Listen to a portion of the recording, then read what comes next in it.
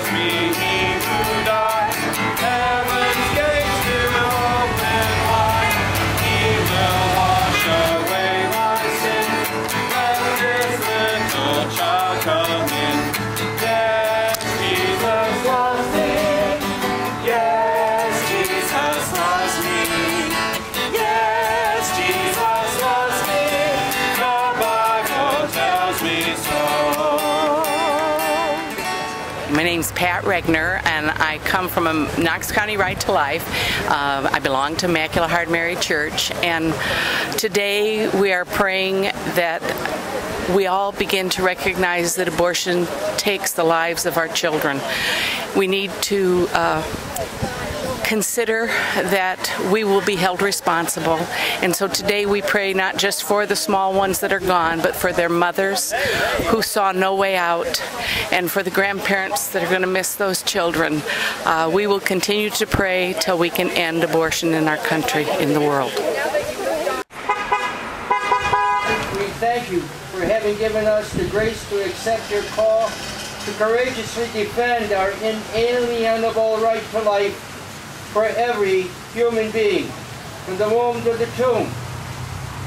Blessing of Almighty God, Father, Son, and Holy Spirit, come upon each and every one of you and your families wherever they be, and remain with you all forever. Amen. Amen.